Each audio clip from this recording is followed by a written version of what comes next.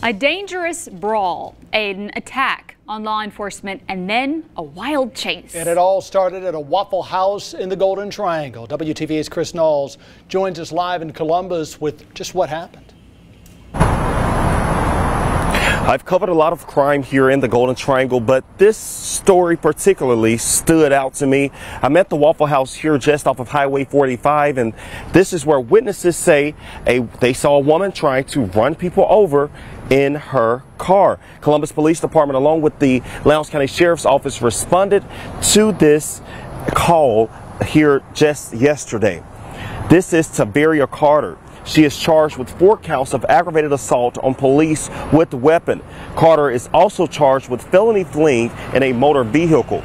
Sheriff deputies initially responded to a help CPD with crowd control. There was a large disturbance there and officers had reports of a driver trying to run people over. But when deputies got there, the sheriff tells us Carter tried to run over one of his deputies in the parking lot. The sheriff says Carter then took off and tried to hit three other deputies in, in patrol cars head on. Sheriff Eddie Hawkins tells me that uh, more about what happened. It can be dangerous with that many people gathering at one place and let's face it, some folks just can't get along. So, uh, you know, we've had numerous incidents at that location throughout the years and uh, it seems to be a gathering place for trouble. There have been problems reported at some Waffle House locations across the country, especially late at night on the weekends. In fact, some locations are offering to-go orders only during the night on weekends and holidays. This location here on Highway 45 joins that growing list. It's just too dangerous for some locations to remain open.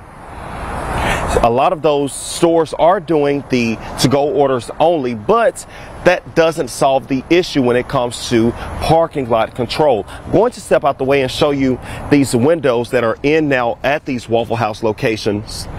Right there we see order here and pick up. That's where people will pick up their orders. But as you see, this parking lot is pretty big. It also goes to the back side of the building. And that's where the sheriff says hundreds of people were gathering at. I did reach out to the Columbus Police Department to see if they're going to do something to maybe monitor the crowd to prevent crimes like this from happening in the future. I'm waiting to hear back from them. And I also reached out to Waffle House Stores corporate office. Reporting live in Lowndes County, Chris Knowles, WTVA 9 News.